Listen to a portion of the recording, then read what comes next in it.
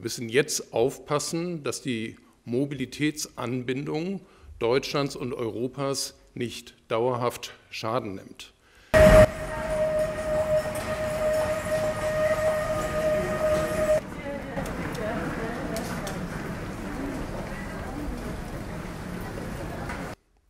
Wir halten es für dringend erforderlich, dass der Frachtflugverkehr komplett aufrechterhalten wird. Dieses ist erforderlich zur Sicherstellung der Versorgungslage der Bevölkerung, aber auch der Versorgung der produzierenden Unternehmen.